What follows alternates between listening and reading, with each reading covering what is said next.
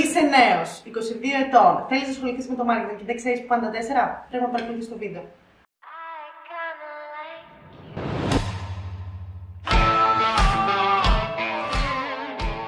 Καλώς ήρθατε και πάλι στο κανάλι μας. Έχουμε μιλήσει για performance marketing, τώρα θα πάμε ένα βήμα πίσω και θα μιλήσουμε μόνο για marketing με έναν άνθρωπο που έχει περάσει από πολλές και διαφορετικές θέσεις, διαφορετικών ειδών εταιριών και πιστεύω ότι αξίζει να ακούσει την ιστορία της. Καλά άκουσες, είναι η πρώτη γυναίκα στο κανάλι μας και πρόκειται για την Αστάζια Παπακοπούλου. Γεια σου Αστάζια. Γεια σου Θεόνη. Καλώς ήρθες. Ευχαριστώ πολύ. Είναι τιμή μου που, που βρίσκομαι εδώ μαζί σας. Ξέρω τη, τη δουλειά σας και είμαι μεγάλη φαν της College Link. Ε, με έχεις στηρίξει και τη στηρίζω, θα συνεχίζω να τη στηρίζω. Ευχαριστώ πολύ για την πρόσκληση. Εμείς ευχαριστούμε και τα επιβεβαίωσε τα όλα, όλα τα όλα όσα είπε η, η Ναστάζια. Λοιπόν, πάμε να ξεκινήσουμε την κουβέντα μας. Πάμε. Όπως είπα και στο intro, ε, έχεις περάσει από διαφορετικών ε, βεληνικών εταιριών, από startup, από agencies, από corporate περιβάλλοντα. Θα ήθελες γενικότερα για να σε γνωρίσει και ο κόσμος έτσι που σε γνωρίζω και εγώ λίγο να μου πεις περισσότερα για την ε, μέχρι τώρα πορεία σου. Ωραία, ναι. Ε, πράγματι η επαγγελματική μου πορεία ξεκινάει εν μέσω κρίσης. Okay. Δηλαδή τα πρώτα μου βήματα στη δουλειά τα έκανα αμέσως μετά το πτυχίο που τελείωσε στο, στο Λονδίνο. Επιστρέφοντας στην Ελλάδα τότε θυμάμαι ότι είχαμε μνημόνια, είχαμε οικονομική κρίση, ανεργία, χαμηλή μισθή. Και τότε λέω, τώρα σε ποια Ελλάδα πάω να γυρίσω, πού πάω, πού θα εργαστώ, δηλαδή ήταν λίγο η κατάσταση δυσάρεστη. Mm-hmm. Παρόλα αυτά, ε, στάθηκα τυχερή και θεωρώ τον εαυτό μου τυχερό, μέσα από τυχερό, γιατί η τύχη έχει βραχή απορία, πρέπει να, να δουλέψεις σκληρά και να κυνηγά, να αποδείξεις, να έχεις δύναμη για να συνεχίσεις. Θεωρώ τον εαυτό μου λοιπόν τυχερό γιατί ε, σε όποια περιβάλλοντα έχω δουλέψει, έχω δουλέψει με πολύ δυνατές ομάδες, ε, πολύ έξυπνους ανθρώπους, δηλαδή μυαλά μεγάλα που πάντα με ενέπνεαν ε, και, και μου έδιναν πάντα ένα boost και να ανοίγω το μυαλό μου να σκέφτομαι διαφορετικά. Οπότε η καριέρα δική μου ξεκινάει κοντά στο 2012-2013. Full κρίση, δηλαδή ήρθες... Στην καρδιά. Ναι, ναι, ναι. Τότε σκεφτόμουν να μείνω στο Λονδίνο, να γυρίσω στην Ελλάδα, τι να κάνω. Μου αρέσει η χώρα μου. Ε, οπότε δεν μπορούσα να φανταστώ τον εαυτό μου να, να φεύγει στο εξωτερικό. Ήθελα να ξεκινήσω εδώ. Οπότε η καριέρα μου ξεκινάει στη Digital Minds. Ο Κώστας Χαμαλίδης ήταν ο μέντοράς μου, ήταν ο άνθρωπος ο οποίος μου έβαλε το, το μικρόβιο στο μυαλό ε, και με έμαθε να καταλάβω με τι θέλω να ασχοληθώ. Ήταν αυτό το marketing. Γενικότερα σε αυτή την εταιρεία ήμασταν ε, κοντά στους 20-30 ανθρώπους τότε, έμεινα πολλά χρόνια. Από την πολύ αρχή της μέχρι το peak της, έμαθα πάρα πολλά πράγματα ε, και εκεί κατάλαβα με τι θέλω να ασχοληθώ. Άρα στην πρώτη δουλειά, ξέρεις, είναι η, σαν πρώτη σου σχέση. Okay. Μαθαίνεις, μαθαίνεις τι σου αρέσει και προετοιμάζεσαι για τα επόμενα. Ε, αυτή, αυτή, η Digital Minds είναι μια διαφημιστική εταιρεία, είχε, έχει ακόμη expertise στη δημιουργία περιεχομένου σε καινοτόμες πλατφόρμες όπως το YouTube, όπως το TikTok, οπότε έμαθα πολύ ε, στο να βάζω την εαυτό μου να σκεφτεί νέες ιδέες, να σκέφτομαι out of the box, να δουλεύω αντισυμβατικά, ε, έμαθα να, να διαχειρίζομαι διαφορετικούς πελάτες, δηλαδή από ένα brand το οποίο είναι beauty brand μέχρι ένα brand το οποίο έχει να κάνει ε, με cooking, ξέρω εγώ, δεν ξέρω, στελέ από L'Oreal μέχρι Γερμανό, μέχρι, ξέρεις, έχεις πολλές επιλογές. Άρα η πρώτη δουλειά, η πρώτη διαφημιστική, τι έμαθα, περίπου τι μου αρέσει να κάνω. Okay. Ε, αμέσως μετά, από εκεί, από αυτό το πολύ δημιουργικό και όμορφο περιβάλλον που είχαμε κούνιες μέσα, ήμασταν όλοι σαν οικογένεια, ήμασταν μόλις 20-25 άτομα, έκανα το επόμενο βήμα να πάω στην πλευρά του πελάτη. Άρα ε, πήγα και δούλεψα σε μία, σε μία από τις μεγαλύτερες ε, ε, retail εταιρείες στην Ελλάδα και από εκεί που ήμουν με 20 συναδέλφους βρέθηκα ανάμεσα στα 2.000. Okay. Λοιπόν, ήταν ένα σοκ, δηλαδή άργησα να προσαρμοστώ. Πήγα στην νέα εταιρεία και ήμουν μία, δεν ξέρω, μία σταγόνα σε έναν ωκεανό. Δηλαδή δεν ξεχώριζα, ήμουν ένας από τους πολλούς. ε, είχα μια πολύ δυνατή, στο πλαίσιο εργαζόμουν, ε, υπήρχε μια πολύ δυνατή διοίκηση, η οποία πίστεψε σε μένα και με εμπιστεύτηκε και μου έδωσε αυτό, αυτή την κλωτσιά για να, για να έχω περισσότερες ευθύνες, να φέρω περισσότερες ιδέες στο τραπέζι. Ήταν, ξέρεις, ανοιχτόμυαλοι άνθρωποι και μοντέρνοι. Ε, οπότε και για μένα ήταν πιο εύκολο τότε να να φέρω αυτό που έμαθα από την προηγούμενη μου εταιρεία, να το φέρω στην πλευρά του, του πελάτη, in-house, και να βλέπω αυτά τα οποία ε, έχω εκπαιδευτεί να τα εφαρμόζω. Εν τέλει μέσα σε ένα πελάτη. Πολύ πιο απαιτητικό περιβάλλον, δεν το συζητώ, πολύ περισσότεροι στόχοι, πολλές περισσότερες ευθύνες, μεγαλύτερος ανταγωνισμός, ε, περισσότερες ώρες δουλειάς, γενικότερα πολύ τρέξιμο, αλλά ξέρεις πάντα το αντιδρούσα πολύ με ενθουσιασμό μέσα σε σε αυτό το περιβάλλον. Κάθισα και εκεί, περίπου τρία χρόνια και μετά... Πήγα στην επόμενη σχέση. Πήγα στην επόμενη, την τρίτη, την όρημη σχέση που λέμε. Αφού έχεις μάθει, έχεις κάνει την εμπειρία σου κλπ, έρχεσαι και κάθεσαι. Mm-hmm. ωραία, ξέρω τι θέλω, ξέρω τι μου αρέσει, ξέρω τι κάνω σωστά. Ε, έχω μάθει και από τη διαφημιστική να κάνω τη δουλειά, γιατί είμαι της άποψης ότι οι άνθρωποι οι οποίοι τώρα εργάζονται σε, και θέλουν να εργαστούν στον τομέα του marketing, ε, πρέπει για μένα οπωσδήποτε να περάσουν από διαφημιστική. Είναι ο μόνος χώρος δουλειάς που οι νέοι μαθαίνουν πραγματικά τι είναι το marketing και τις πρακτικές του marketing. Αυτό από ποια άποψη, να τολμήσω να ρωτήσω. Ναι. Ε, αρχικά ε, πάρουμε ως δεδομένο ότι οι μεγαλύτερες έχουν διαφημιστικές για να τα έχουν τι καμπάνιες. Δεν τις έχουν in-house. Σωστά. Ε, δεν εστιάζουν στο να εκπαιδεύσουν τους ανθρώπους να στήσουν μια σωστή καμπάνια ή ποια είναι τα best practices. Εστιάζουν στο προϊόν, στην υπηρεσία τους. Πώς θα κάνουν τον καταναλωτή να αγοράσει το προϊόν. Είναι αλλού το focus. Η διαφημιστική εταιρεία σε προετοιμάζει και σε εκπαιδεύει ακριβώς στα κομμάτια τα οποία πρέπει εσύ να παρουσιάσεις τον πελάτη σου. Πάντα ψάχνεσαι, δηλαδή πάντα η τα στελέχη μιας διαφημιστική ακολουθούν τα trends, ε, εκπαιδεύονται συνεχώς, δηλαδή δεν τελειώνει αυτό. Σε μια εταιρεία καλείσαι να κάνεις άλλα πράγματα. Mm-hmm. Πάλι δύσκολα, αλλά όχι στο ίδιο level. Για μένα, οι άνθρωποι που θέλουν να εργαστούν με το marketing mm-hmm. ε, χρειάζεται να έχουν περάσει από μια διαφημιστική εταιρεία. Mm-hmm. Οπότε, όταν εγώ πήγα στον πελάτη και πέρασα από την πλευρά του πελάτη, ποια ήταν η περιέργειά μου; Η περιέργειά μου ήταν πώς αυτό το brief, το οποίο ε, λάμβανα στη διαφημιστική. από τον πελάτη, ναι. θα το δώσεις εσύ. Ναι, πώς αυτό βγαίνει. Δηλαδή, προσπαθούσα να το φανταστώ και δεν μπορούσα. Δηλαδή, μας ερχόταν ένα brief από την Εστιλέ. Και έλεγα, τώρα αυτοί οι άνθρωποι κάθισαν σε ένα meeting, ξέρω εγώ, άνθρωποι και σκεφτήκαν ότι ο στόχος του, του επόμενου εξαμήνου είναι να, να προβάλλουν αυτά τα χαρακτηριστικά αυτού του προϊόντος σε αυτές τις πλατφόρμες όμως, γιατί το κοινό τους είναι αυτό, mm-hmm. μπλα μπλα μπλα μπλα. Ποια είναι τα, τα ποια είναι τα, ε, τα taglines που πρέπει να, να βγάλουμε προς τα έξω. Ε, ήμουν πάρα πολύ περίεργη και ήθελα να δω πώς βγαίνει αυτό το brief. Δηλαδή βλέπουν ας πούμε μειώσεις ή αυξήσεις mm-hmm. ε, στις πωλήσεις του προϊόντος.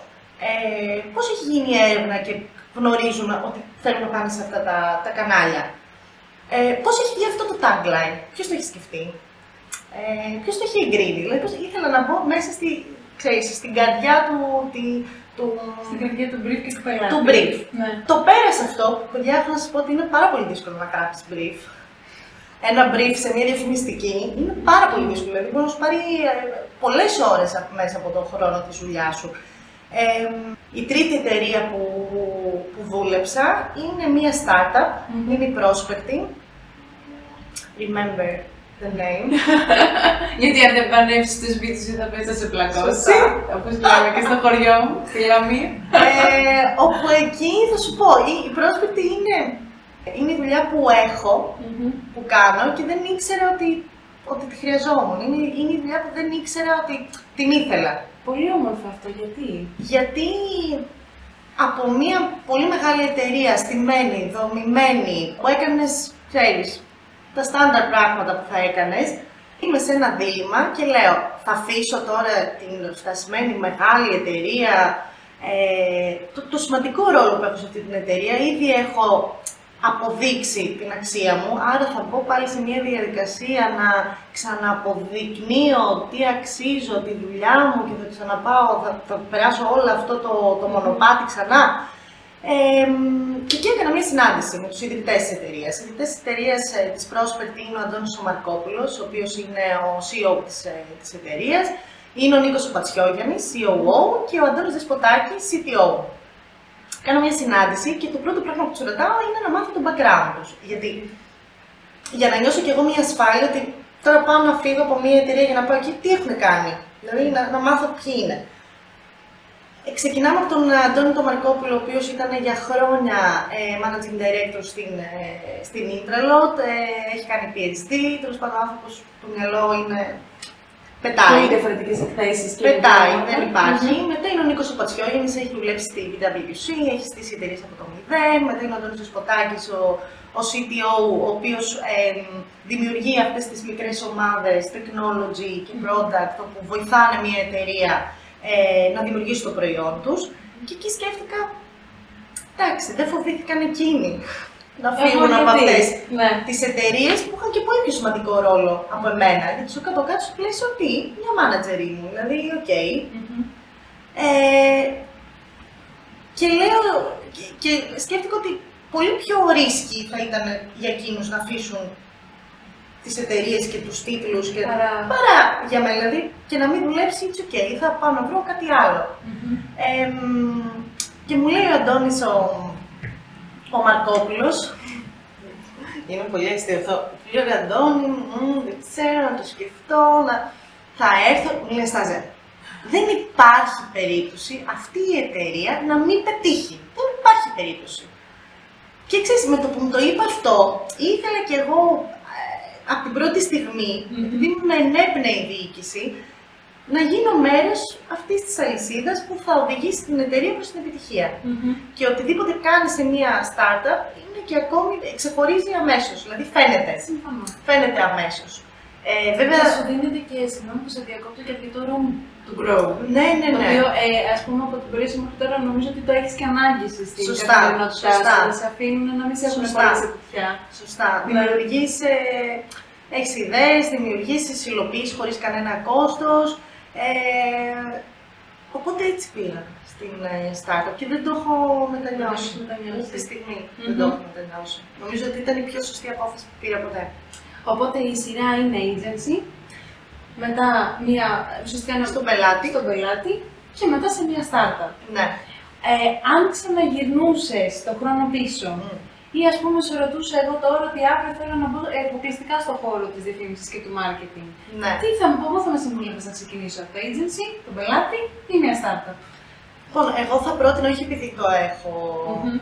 Το έχω ακολουθήσει, νομίζω ότι η πιο φυσική σειρά είναι αυτή που, ναι, που περιέγραψα μόλις τώρα. Mm-hmm. Ε, νομίζω ότι τα νέα παιδιά τα οποία τώρα ξεκινάνε ε, και θέλουν να μάθουν να δουλεύουν το marketing, πρέπει να περάσουν από μια διαφημιστική. Στη διαφημιστική το, η αδυναμία, αν θέλεις, είναι ότι ο κάθε account manager δεν εστιάζει το χρόνο του μόνο σε ένα brand, όπως είναι όταν είσαι στον πελάτη. Οπότε πολλές φορές οι εργαζόμενοι έρχονται σε ένα ταβάνι και λένε ότι ξέρεις τι, θέλω να πάω, ναι. δεν μπορώ να ασχολούμαι με, από τη μία με την Always και από την άλλη ναι. με την Εστιλέ. Θέλω να πάω κάπου συγκεκριμένα και λογικό είναι.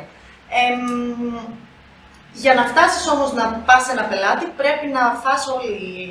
Βασικά πρέπει να δεις όλα τα πολλά και διαφορετικά πράγματα. Σωστά. Να δεις τι λειτουργεί και τι δεν λειτουργεί και μετά να πας να τα εφαρμόσεις όλη την τεχνολογία σε έναν πελάτη. Σε έναν πελάτη, σωστά. Mm-hmm. Ε, όταν πας στον πελάτη, εκεί μαθαίνεις κανονικά όλα τα κομμάτια. Όλες τις, πώς είναι στημένα τα, τα τμήματα, τις διαδικασίες, τις εγκρίσεις.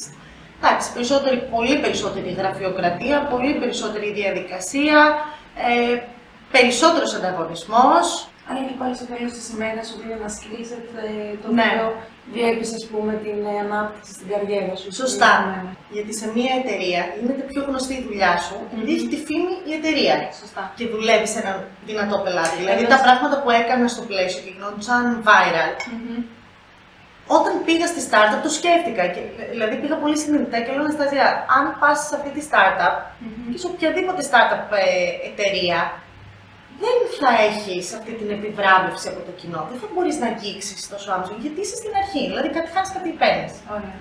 Αλλά είμαι OK με αυτό. Δηλαδή έχω κερδίσει άλλα πράγματα τα οποία ναι. είναι πάρα, πάρα πολύ σημαντικά. Μάλιστα. Και το ανέφερες πάρα πολλές φορές. Βασικά, ε, και πιο από τα πράγματα που έχω δει και πώς σε γνωρίζω, το όνομά σου βρίσκεται πίσω από πολλά, πολλά ενδιαφέροντα projects, πολλά viral projects. Αν μπορούσες να μου πεις ένα-δύο, ποια θα ήταν και μετά να πάμε λίγο και πιο in depth πώς ήταν, ας πούμε, αν ας πούμε, μου πεις ένα project που δούλεψε για την Digital Minds. Θα ήθελα να μου εξηγήσεις λίγο και πώς ήταν η σύσταση της ομάδας, πώς αυτό το project από μια ιδέα έγινε τελικά ένα πραγματικό live project. Ωραία. Ε, ξέχασα την ερώτηση.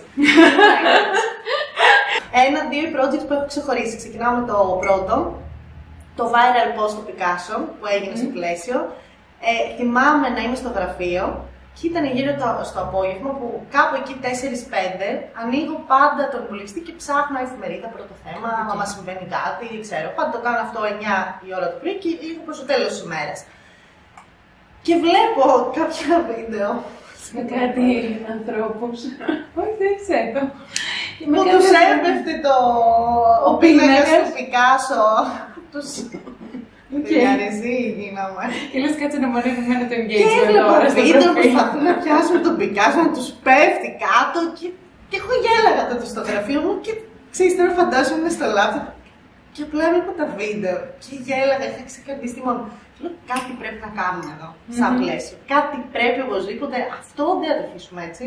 Και νομίζω ότι είναι και μέσα στη φύση της δουλειάς μας το marketing να, να ε, παίρνουν την επικαιρότητα και να δημιουργούν πράγματα. Και βασικά να κάνουν και stick to mind ναι, πράγματα. Ναι. ναι. ναι. Και mm-hmm. πάω τότε στη συνάδελφό μου Κωνσταντίνα Φωτοπούλου. Κωνσταντίνα, άμα τα ακούω, είσαι αστέρι. Τώρα θα σε πω στην κάμερα. και πάω τότε στην Κωνσταντίνα του Φωτοπούλου ε, και τους συζήτησα και με τη Μαρία ε, Καραμπάτου. Γεια σου, ρε μαράκι. Τι έχουμε περάσει. Και πάω στην Κωνσταντίνα και της λέω, Κωνσταντίνα, τώρα, της λέω, θα κάνεις κάτι το οποίο μέσα σε μία ώρα, της λέω δεν στο ρολόι, δεν έβγαζα και βίντεο τότε. Αυτό το οποίο θα κάνεις τώρα θα γίνει viral. Θα μιλάει όλη η Ελλάδα για αυτό το post. Μην τη σκέφτηκες πάλι. Λέω πάρε ένα τρίποδο. Λέω πιο τρίποδο. Λέω πάρε αυτό, μπαίνω στο πλαίσιο. Λέω το τρίποδο. Της λέω, βάλει μια τηλεόραση πάνω. Λέω, ποια τηλεόραση. Ε, λέω, βάλει μια Turbo X, σαν δικιά μας. Βάζει την τηλεόραση. Mm-hmm. Λέω, γράψε, στηρίζουμε ότι έχει αξία. Το γράφω. Της λέω, βάλει ακόμα στο όρτι. Ωραία, οκ. Βάλε ακόμα στο όρτι. Μην λες το και το πώ θα πάει να κάνω. Λέω, πάρε. Πάρε, λέει, λέει, λέει την. Πάρε της λέω το κάδρο. Μου λέει, αυτά την τηλεόραση. Λέω, έχεις δίκιο. Δεν πρέπει να βάλει την τηλεόραση. Εκεί κάπως χάσαμε λίγο χρόνο. Της λέω: Δεν ξέρω γιατί σου είπα τηλεόραση. Τέλος πάντων βάζει, τη, βάζει το κάδρο. Το βγάζουμε και έτσι τσακ μπαμ. Καμία έγκριση. Δηλαδή, mm-hmm. το σου λέω είναι, είναι πολύ ωραίο περιβάλλον το πλαίσιο. Απλά ανεβάζουμε το ποστάκι το και με το που. Να, ναι. το, να η έτη την ομάδα να το βάλει κάπου εδώ. Πάμε να το δείξουμε. Πάλι λίγο, ναι. στηρίζουμε Φτιάξτε το λίγο. Είναι top. Ε, και παίρνουμε ένα εκατομμύριο reaction, σχόλια, γίνεται viral, το δείχνει τηλεόραση, το ανεβάζουν τα sites, γενικότερα όλος ο κόσμος μιλάει για μας. Ε, εντάξει, ήταν, αυτό ήταν ας πούμε μεγάλη επιτυχία για μένα. Mm-hmm. Γιατί, από, γιατί ξέρεις, αυτό είναι και η απόδειξη του ότι ένας άνθρωπος ο οποίος ασχολείται με το marketing δεν πρέπει να μένει ποτέ στα παραδοσιακά, στα παραδοσιακά και, και το τι έχει να κάνει, δηλαδή έχω να κάνω το, δεν ξέρω, το calendar, έχω να μιλήσω με αυτό, έχω, δηλαδή ένα, δύο, τρία σε κουτάκια. Mm-hmm. Πρέπει να είσαι ένας άνθρωπος ο οποίος να πιο φρύσπη, να περίεργος, να ναι. αυτό που σκέφτεσαι να το κάνεις, να το συνδέσει με το προϊόν. Γιατί υπάρχουν και, υπάρχει και μια παγίδα που οι πολύ δημιουργικοί άνθρωποι δεν μπορούν να να αντιληφθούν πιο πολύ, να, να συνδέσουν την ιδέα με, με το προϊόν. Να είναι λίγο πιο εμπορική η ιδέα. Συμφωνώ επίσης ότι πρέπει να τοποθετούμαστε για όλα. Ναι. θα την δεν θα Θέλει ένα μέτρο. Θέλει ένα μέτρο. Θέλει ένα μέτρο.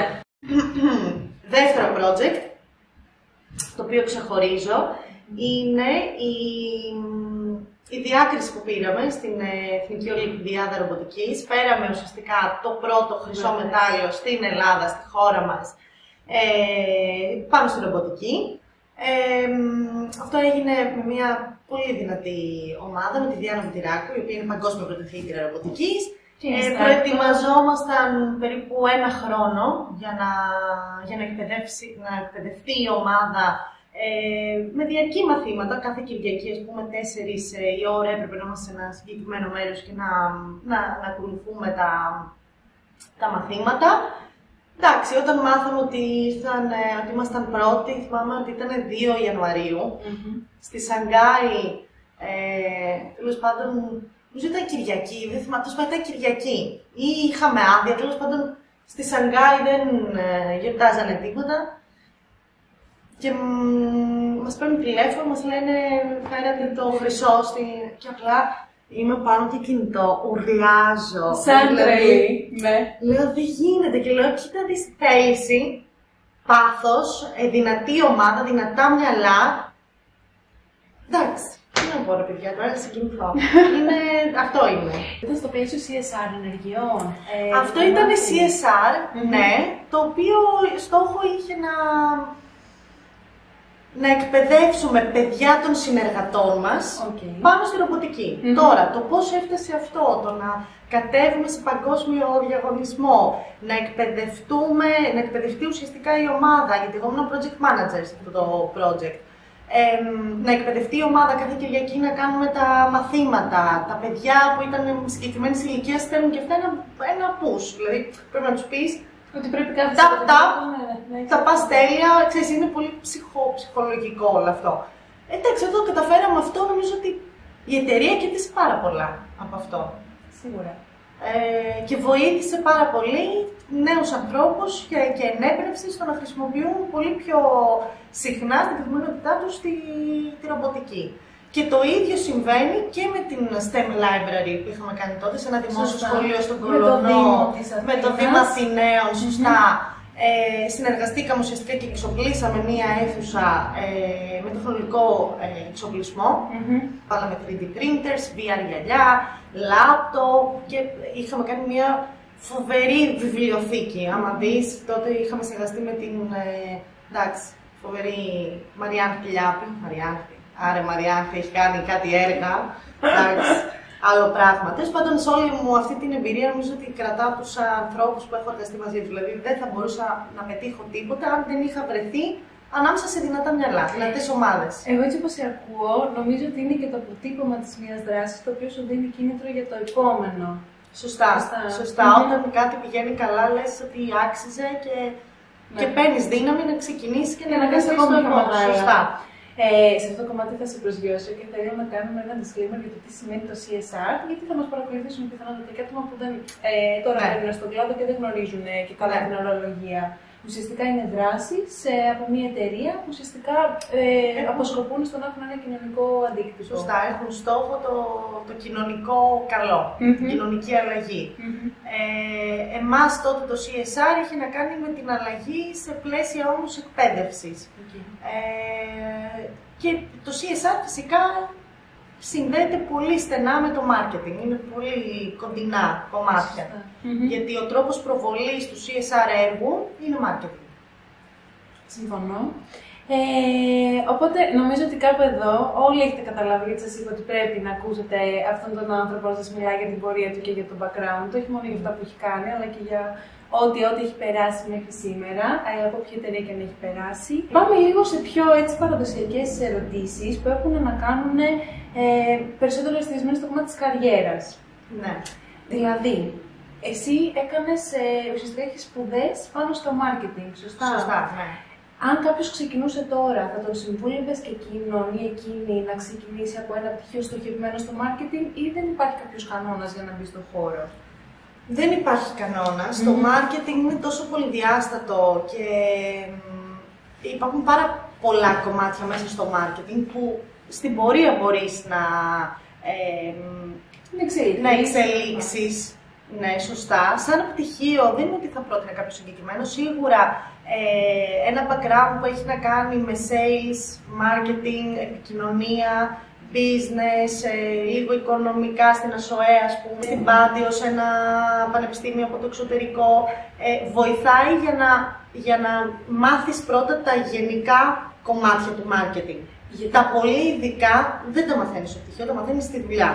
Και τα μαθαίνεις μέσα από την, ε, τουλάχιστον εγώ παρακολούθησα πάρα πολλά courses όταν ξεκίνησα την, ε, την πορεία μου, την, ε, όταν ξεκίνησα την εργασία μου. Ε, γιατί το marketing είναι κάτι το οποίο δεν είναι ότι απλά μαθαίνετε, το μάθες και τελείωσε. Το marketing συνεχώς εξελίσσεται Συνεπώ πρέπει να ακολουθείς τάσεις. Υπάρχουν πράγματα που τώρα βγαίνουν μια πλατφόρμα. Πώς θα τη μάθεις, Δεν πρέπει να παρακολουθείς ένα σεμινάριο.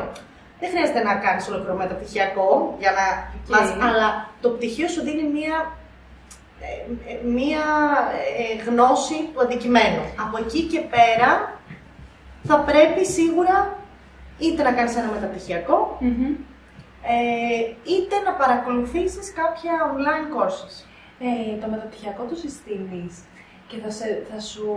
Με βλέπεις λίγο, έκανα περίεργα αυτή την ερώτηση, ε, γιατί ακριβώς είπες πριν ότι τα πράγματα αλλάζουν καθημερινά. Και ας πούμε σήμερα το marketing μπορεί να είναι 1, 2, 3, αύριο μπορεί να είναι 10. Σωστά, Το ναι. συστήνεις το μεταπτυχιακό. Θα σου πω, το μεταπτυχιακό το συστήνω σε ανθρώπους οι οποίοι έχουν ήδη αποκτήσει προπτυχιακούς τίτλους, Μμμ. ε, αλλά θέλουν να αλλάξουν εντελώς καριέρα, δηλαδή 360 τελείως να, το, να αλλάξουν ριζικά την καριέρα τους. Δηλαδή, αν εγώ που ε, έχω σπουδάσει marketing θέλω ξαφνικά να ασχοληθώ Το finance. με το finance, Μμμ. δεν μπορώ να ασχοληθώ με το finance. Ναι. Θα πρέπει να Κάνεις αποκτήσω έναν τίτλο ο οποίος να, μου, να με εκπαιδεύσει πάνω σε αυτό. Άρα θα χρειαστεί να κάνω μεταπτυχιακό. Μμμ. Εάν όμως τώρα εγώ στο marketing θέλω να μάθω performance marketing ή θέλω να μάθω περισσότερο α, τα newsletter, το πιο πολύ digital ή το πιο πολύ offline ή το PR ή τέλος πάντων άλλο κομμάτι του marketing, OK. θα αποφασίσω και θα κάνω online course. Δεν θα κάνω μεταπτυχιακό. Δηλαδή το μεταπτυχιακό το προτείνω για ανθρώπους οι οποίοι ε, χρειάζονται αυτή την εξειδίκευση. Μμμ.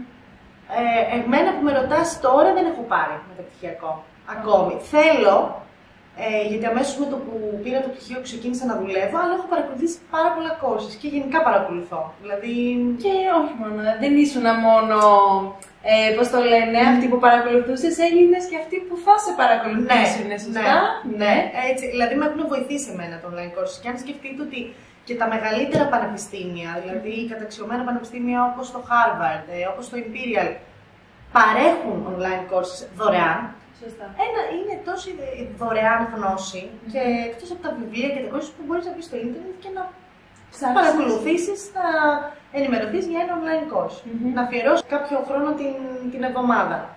Ε, για να κάνω ένα disclaimer, η Ναστάζια είναι και στο Digital Marketing Academy της College Link, ε, στο κομμάτι του influencing ε, Marketing. Ναι. Σωστά. Ε, γιατί η Digital Minds μου έδωσε αυτό το, το, κομμάτι, skill. το, το, Μμμ. το creators ε, content. Μμμ. Ωραία. Ε, και πες ότι ας πούμε ε, αυτή τη στιγμή είσαι στην Prosperity, έχεις μια ομάδα, σωστά; Ναι.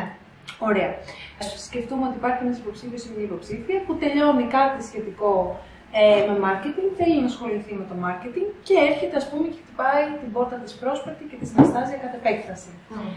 Ε, βασικά πριν χτυπήσει την πόρτα σου, εσύ όταν θε- στη, στα- στη, στο στάδιο του apply, στο βιογραφικό, ποια είναι αυτά τα checkboxes που θα, θα βάλεις για να πεις ότι προχωράω στη συνέντευξη, τι θες να δεις στο βιογραφικό ενός ανθρώπου; Θέλω να δω πολλά παραδείγματα. και πολλά projects. Δηλαδή, εμένα προσωπικά και δεν είμαι ειδική στο HR σε καμία περίπτωση, αλλά θα, θα, από τη δική μου εμπειρία όταν ανοίγω ένα βιογραφικό, θέλω κάποια, κάποιες λέξεις κλειδιά. Δηλαδή, έχω κάνει εθελοντισμό. Εντάξει, πόσοι έχουν γράψει εθελοντισμό σε, από τότε μέχρι τότε. Ναι, οκ.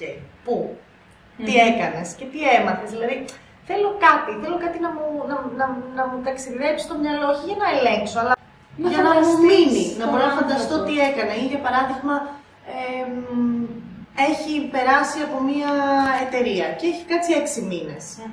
Θα μου άρεσε να δω έτσι μια φράση λίγο playful, ότι τι και αν έξι μήνες Μμμ. πέτυχα ένα, δύο, τρία πράγματα. Δεν ξέρω ποια είναι, άμα με ρωτάς, η σωστή δομή ενός βιογραφικού. Δηλαδή, γιατί εγώ θα σου πω όμως ότι σαν ε, υπεύθυνη μιας ομάδας, πολύ γρήγορα σκανάρω το βιογραφικό, δηλαδή η αλήθεια είναι ότι δεν το διαβάζω από, το πρωί, από, το, Από από το την τέλος. αρχή μέχρι το τέλος και πηγαίνω στα bullet, δηλαδή όπου έχει bold. Άρα το μάτι μου πέφτει στις bold λέξεις και στις εταιρείες που έχει δουλέψει. Μμμ. Ε, δεν ψάχνω το κενό, δεν με ενδιαφέρει τι κενό έχει ο υποψήφιος και τι έκανε σε αυτό το κενό. Ε, γιατί ζ- ζούμε σε δύσκολες εποχές και νομίζω ότι οι νέοι, ειδικά αυτής της γενιάς, ε, υπήρχε μία πεποίθηση ότι όλα τα έχουν έτοιμα και όλα ε, και είναι οι millennials και είναι ξέρεις, οι άνθρωποι που δεν τους νοιάζει να δουλέψουν, να εργαστούν σκληρά κτλ.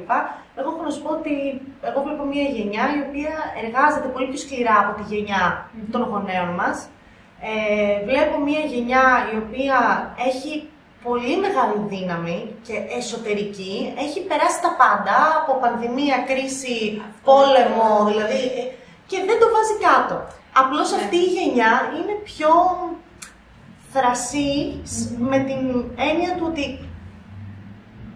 ζητάει περισσότερα γιατί μπορεί να δώσει περισσότερα. Ναι. Ε, συμφωνώ. Επειδή ανήκω εν μέρη σε αυτή τη γενιά, θα πω ότι η δική μου γενιά και ίσως και οι πιο μικρότεροι έχουμε περάσει οικονομικές κρίσεις που είπες πριν. Ναι. Έχουμε περάσει πανδημίες, έχουμε περάσει τώρα έναν πόλεμο. Ε, και εντάξει, αυτό με πάρα πολύ μεγάλη επίπτωση στη χώρα μας. Βέβαια. Απλά θα το εντάξει λίγο και δούμε και το πλαίσιο της εποχής. Δηλαδή, περνάνε όλα τόσο γρήγορα. Οπότε Ναι. και εμείς πρέπει να κάνουμε και πάπα από πίσω. Και Σωστά. εσείς αντίστοιχα που ήδη, ας πούμε, ε, εργάζεστε σε υψηλόβαθμες θέσεις τη εταιρεία. Οπότε είναι λίγο ένα ένας κύκλο. Ναι, Αλλά σωστά. εντάξει, σε καμία περίπτωση συμφωνώ και εγώ δεν πρέπει να το ρίχνουμε ότι η γενιά Ναι, αυτή όχι, είναι αυτή έτσι. η και ότι γενιά δεν νομίζω ότι μπορεί- είναι πιο δυνατή από όλες τις γενιές. Ευχαριστούμε Θα κάνει εκπρόσωπο, τον εκπρόσωπο της γενιάς πολύ που μεγάλα Αναστάζια. πράγματα. Ε, οπότε καταλαβαίνω την Αστάζια σε ένα βιογραφικό θέλει να δει λίγο δημιουργικότητα, αυτό που Ναι. είναι μια κάτσι φράση, ε, και πολλά παραδείγματα. Να σε κάνει να φανταστείς αυτόν που θα δεις από κοντά πριν έρθει από κοντά. Σωστά. Ωραία. Σε κάνει να τον φανταστείς, προχωράτε στο στάδιο της συνέντευξης. Ε, τι θέλεις να ξέρει ή να σου πει σε μια συνέντευξη; Σε μια συνέντευξη εγώ τη ρωτάω Μμμ. ε, και τι μου αρέσει να ρωτάω και βλέπω αντιδράσεις εκείνη τη στιγμή περίεργες. Οκ. Δεν ξέρω, αλλά Ποιο έργο μου είχε γίνει viral. καταλαβαίνεις, ναι. καταλαβαίνεις τον άλλο. Είναι Μμμ. ένα, ε, περίγραψέ μου μία δύσκολη κατάσταση όπου έχεις βιώσει στο, στο εργασιακό σου περιβάλλον Μμμ. και δεν πήγε έτσι όπως το περίμενες και πώς το αντιμετώπισες. Μμμ. Άρα εγώ εκεί θέλω να ακούσω αρχικά να αποδεχτεί ότι συμβαίνουν, υπάρχουν στραβά που συμβαίνουν και δύσκολες Σε όλους μέρες μας. και πράγματα τα οποία μπορεί να έχεις διαφορετικά στο μυαλό σου και αλλιώς σου έρχονται.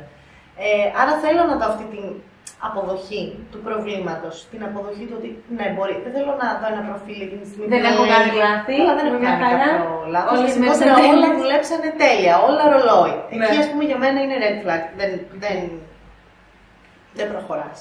Ναι, συμφωνώ. Οπότε στον άνθρωπο ο οποίος θέλει θα του κάνω αυτή την ερώτηση. Θα καταλάβω πάρα πολλά από την απάντηση. Η δεύτερη ερώτηση που θα του κάνω είναι, εμ, και μου αρέσει να την κάνω, έρχεσαι σε διαφωνία με τον μάνατζέρ σου. Okay. Και διαφωνεί με κάτι το οποίο λες. Απαιτητική συνέντευξη Ναι. με τη Ναστάζια Ταμπακοπούλου. Διαφωνεί θα πω. με κάτι που Ναι. λες. Μμμ. Πες μου μία φορά, ας πούμε, πώς αντέδρασες. Οκ. Εκεί θέλω να ξέρω. Αν εγώ δεν συμφωνώ αύριο μεθαύριο και είναι καλό να υπάρχουν διαφωνίες, δεν υπάρχει κανένας λόγος, κανένας, μα κανένας υποψήφιος ο οποίος είναι σε entry level να συμφωνεί με τον manager του. Μμμ. Δηλαδή, αυτό είναι μάλλον και πρόβλημα. Δεν θέλουμε να συμφωνείτε μαζί μας. Θέλουμε να μας κάνετε challenge και θέλουμε να μας δυσκολεύετε. Μμμ. Το θέλουμε πραγματικά. Ε, αλλά θέλω να δω, ας πούμε, αν ε, ο manager λέει ότι πρέπει να γίνει κάτι, εσύ δεν συμφωνείς, τι κάνεις; Πώς σου αντιδράσεις αυτό, το κάνεις, γκρινιάζεις, σε μείνει από κάτω; Θέλω να δω λίγο την, την αντίδραση. Μμμ. Δηλαδή, έχω βρεθεί σε καταστάσεις που ο υφιστάμενος και ο άνθρωπος στην ομάδα μου να λέω κάτι και να θέλει να κάνει το δικό του. Οκ. Ναι, Αυτό δεν μου πώς άρεσε. αντιδράς. Ναι. Σπάω την κούπα. Τι! Λέγα, αστειεύομαι. Γενικά είμαι ψύχραιμη. Παίρνω μια βαθιά ανάσα και λέω, 50 πόν, που είναι; Ναι, 50 πόν για την 50 κυρία πόν. πάλι. Ε, όχι, γενικότερα έχω στήσει μια, στην εταιρεία έχω στήσει μια ομάδα η οποία είναι τόσο δυνατή και Μμμ. τόσο... Έχουν- Εντάξει, περνάει από ψυχολογικό έλεγχο πριν. Εντάξει, περνάει. Είναι, κα- όχι, δεν είναι κάνω ωραίες οι δύσκολε ερωτήσεις. ερωτήσεις. Είναι Δεν με ωραίες νοιάζει ερωτήσεις. Ναι. τόσο τι χειρίζεται Μμμ. από συστήματα και πού έχει εξειδίκευση. Και... Μ' αρέσει να δένει με την ομάδα να, και να Ξέρεις. πιστεύει στο προϊόν της εταιρείας μας. Είναι πολύ σημαντικό. Ξέρεις τι, απλά πολλές φορές, και θέλω αυτό να το πούμε, ε, πολλές φορές θε- έχουμε στο μυαλό μας ότι πρέπει να πάμε σε μια συνέντευξη και να, δούμε, να δείξουμε ότι είμαστε τσαλάκωτοι. Ότι Ναι. είμαστε ο τέλειος εργαζόμενος, ότι είμαστε ο πιο, δεν ξέρω, οι πιο δουλευταράδες, οι πιο, πιο, πιο, πιο. Όμως στο τέλος της ημέρας, το τι δεν είσαι θα φανεί στη συνεργασία. Από μια κόντρα, από ένα project το οποίο μπορεί να μην πάει καλά. Και είναι ok να μην πάει καλά. Γενικά έχουμε και λίγο ότι δεν μας αρέσει πολύ να αποτυγχάνουμε. Οπότε δεν το λέω είπα επικριτικά, είναι ωραίες ερωτήσεις γιατί όντως αυτό που είπες, βλέπεις τον μελλοντικό σου συνεργάτη πρώτα από το βιογραφικό, μετά από τη συνέντευξη για να πεις, ας πούμε, το. Ναι. ναι. Εμ, Γιατί πάνω απ' όλα στο entry level θέλεις έναν καλό συνεργάτη που θα τον πλάσεις να μάθει τα skills. Δεν θέλεις, ας πούμε, κάποιον ο οποίος ξέρει τέλεια να Σωστά. κάνει Google Ads, ε, Facebook Ads κλπ. κλπ. Να Όχι. στείλει καμπάνιες. Ναι. θέλω και τα δύο. ναι. Δηλαδή είναι μία, αν με ρωτήσεις αυτή τη στιγμή πώς απαρτίζονται οι περισσότεροι ρόλοι στην ε, ομάδα μου, Μμμ. και είμαστε 7 άτομα Μμμ. στην ε, prospecting, marketing. Μμμ. Δηλαδή είμαστε μεγάλη ομάδα και συνεχίζουμε να, Πολύ να ωραία. μεγαλώνουμε. Ναι. Ε, τα skills που έχουν γίνει ε, made στην ομάδα είναι από τα soft skills μέχρι τα hard skills, ok. Ε, αλλά είναι αυτό, το ότι ο άνθρωπος που έχεις απέναντί σου θέλει, πιστεύεις στο προϊόν της εταιρείας, γιατί δεν μπορείς να ζητήσεις από κάποιον να σε βοηθήσει στην επικοινωνία της υπηρεσίας σου αν δεν την πιστεύεις. Πιστεύει. Δηλαδή πώς θα πείσεις τον καταναλωτή και τον κόσμο έξω αν εσύ ο ίδιος δεν το πιστεύεις. Δηλαδή πρέπει να έχεις αυτή την πίστη, τη βαθιά πίστη ε, βαθιά πίστη για αυτό που κάνει η εταιρεία. Εάν το έχεις αυτό και αν δω έναν άνθρωπο ο οποίος είναι ενθουσιώδης, είναι, γενικότερα έχω καταλήξει ότι αυτός ο ρόλος και γενικά το marketing είναι πολύ θέμα προσωπικότητας. Δηλαδή, φαντάσουμε τώρα να μιλούσα και να είναι ένα. Δεν θα σε φανταζόμουν σε κάποιο ρόλο. Δηλαδή, Ναι. Τε- σε λίγο σε sales, αλλά επειδή είναι παρακλάδι. Ναι, δεν θα το- σχετίζεται και με το sales στο Σχετίζεται. marketing. Ναι, δεν θα Ναι. σε φανταζόμουν νομίζω σε άλλο ρόλο. Το ναι. marketing νομίζω έχει πολλά να κάνει με την προσωπικότητά σου. Ναι. Και... Είσαι πολύ χρόνο σαν προσωπικότητα και νομίζω Ναι, ότι τέτοιους σε ανθρώπους ευχαριστώ. θέλουμε πολύ. Παρακαλώ. Με ξέρω ως Στο μόνο, παιδί. ναι. Δεν βλέπω, δεν το χτυπάω το χτυλί, γιατί το βέβαια. Και η τελευταία ερώτηση που τους κάνω είναι τι ξέρουν για την εταιρεία, τι γνωρίζουν για την εταιρεία, τι είναι η πρόσπερτη. Θες να δώσει ένα hint. Ναι, τι είναι η πρόσπερτη. Η Πρόσπερτη είναι μια PropTech εταιρεία, startup. Είμαστε πλέον 50 άτομα. Έχουμε σηκώσει τρεις ε, γύρους χρηματοδότησης. Εξελισσόμαστε ραγδαία. Εμ, Είναι άτομα, ομάδα marketing. 7 άτομα είμαστε στο marketing Wow. και συνεχώς μεγαλώνουμε. Είναι μια PropTech εταιρεία η οποία ουσιαστικά παντρεύει την τεχνολογία με το real estate. Με τον παραδοσιακό τρόπο του real estate έρχεται η Prospect και το κάνει disrupt. Μμμ. Αν έχει να κάνει με την τεχνολογία, αναλύουμε εκατομμύρια δεδομένα μέσα από το τεχνολογικό σύστημα το οποίο έχουμε δημιουργήσει εμείς οι ίδιοι εσωτερικά, γιατί οι μισοί άνθρωποι στην Prospect είναι developers. Μμμ. Ε, αναλύουμε λοιπόν δεδομένα και μ, έχουμε δημιουργήσει μια πλατφόρμα η οποία ε, στοχεύει στους ιδιοκτήτες ακινήτων που είτε θέλουν να πουλήσουν τα ακίνητά τους, είτε να το βάλουν προς ε, νοικίαση και αντίστοιχα σε αγοραστές Μμμ. ή ανθρώπους που θέλουν και ψάχνουν να νοικιάσουν. Είναι μια πλατφόρμα η οποία γίνονται ανέπαφες ε, συναλλαγές. Δεν χρειάζεται να πας να δεις στο σπίτι σου. Έχουμε εκεί το 3D drone και τα 360, τα... Οκ. όλα τελικά είναι σαν να βρίσκεσαι εκεί. Δεν χρειάζεται να έχεις κεφάλαιο αν δεν έχεις να αγοράσεις. Σου Μμμ. τρέχουμε εμείς και έχουμε ψηφιακή ε, προέγκριση δανείου. Μάλιστα. Σου τρέχουμε εμείς όλη τη διαδικασία. Ε, δεν ε, έχεις να μπλέξεις με τη γραφειοκρατία, με το να μιλήσεις με τον δικηγόρο, με το να κάνεις μεταβίβαση ακινήτου, με το δηλαδή χίλια δύο πράγματα, όλα γίνονται ανέπαφα. Μέσα από μια πλατφόρμα. Από οποιοδήποτε σημείο και αν βρίσκεσαι στην Ελλάδα και εκτός, γιατί τώρα βγήκαμε και στην Κύπρο. Άρα το marketing, το πώς δηλαδή εμείς κάνουμε marketing τα ακίνητα για να φεύγουν αρχικά, να πουλούνται, αλλά και να φέρνουμε ακίνητα, να έχουμε sales submissions, Μμμ. χρειαζόμαστε, χρειάζεται μια φοβερή, δυνατή ομάδα marketing, την οποία έχουμε χτίσει, είμαι πάρα πολύ περήφανη για την ε, ομάδα που έχω χτίσει στη, στην Πρόσπερτη. Είναι όλοι νέα παιδιά, δημιουργικά, θέλουν να... Ξέρεις, δεν- είναι αυτός ο αντισυμβατικός τρόπος εργασίας, δεν είναι αυτό με το ρολόι. Μμμ. Είναι ότι θα κάνω ό,τι πιστεύω στην εταιρεία, ξέρεις, το παίρνει πολύ Πολύ προσωπικά. πολύ προσωπικά. πάνω τους, ναι. Και νομίζω ότι αυτό το, τους το έχει περάσει η ίδια η εταιρεία. Δηλαδή η ίδια η εταιρεία θέλει ανθρώπους δίπλα που να πιστεύουν στο προϊόν. Τελευταία ερώτηση. Αν σήμερα βγαίνει ένας άνθρωπος από το πανεπιστήμιο και θέλει να ασχοληθεί με το marketing, ε, τι θα το συμβουλεύεις για το η team για τα επόμενα βήματα; Τι θα τον ε, συμβούλευα; Και καλά τον έχω απέναντι Ναι, μου τώρα, ναι, ναι. είσαι εσύ ο 22χρονος που με βλέπεις και θες να βρεις αυτό το βίντεο. Θα του έλεγα μην απογοητευτείς. Δηλαδή μπορεί να υπάρχουν πολλές κλειστές πόρτες στην αρχή. Ε, ότι πρέπει να δώσεις χρόνο. Το marketing είναι ένας φανταστικός κόσμος, ο οποίος έχει πολλή δουλειά και θα έχει και πολύ μέλλον ε, τα επόμενα χρόνια. Οπότε αξίζει να, να επενδύσει σε αυτό.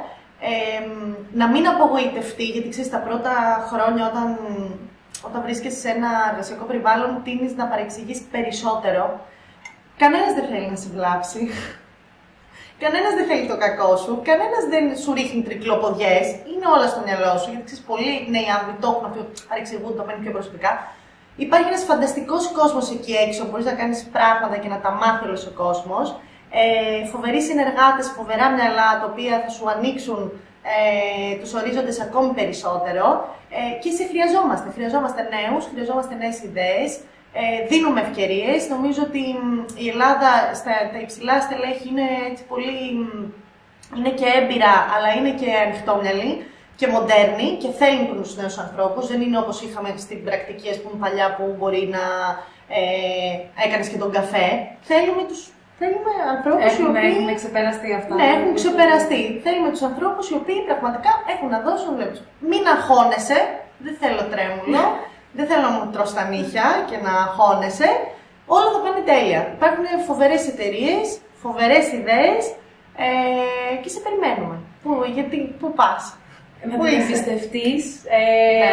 πραγματικά να την εμπιστευτείς. Έχει δίκιο από, το, από την πρώτη μέχρι την τελευταία λέξη που σου είπε. Ελπίζουμε να ευχαριστήθηκε σε την κουβέντα. Και εγώ εσύ, ελπίζω να Αναστάσια. βοήθησα όσο μπορώ. Εγώ πιστεύω ότι βοηθήσαμε σήμερα. Ναι, κάτι. μακάρι. Και να συνεχίσετε να κάνετε και αυτά τα σεμινάρια είναι πολύ σημαντικά. Που δίνετε αυτό το content ακόμη και for free να, να μάθει ο κόσμος, να εκπαιδευτεί και να του περάσει το μικρόβιο έμπνευσης. Ευχαριστούμε πολύ. Εγώ ευχαριστώ. Είστε επανειδή θα πω. Είστε πανηδί. Είστε επανειδή θα πω και σε σένα, γιατί έρχονται και άλλα βίντεο στο κανάλι μας, γι' αυτό κάνε like και subscribe για να ενημερωθείς όταν βγουν live. Γεια σου!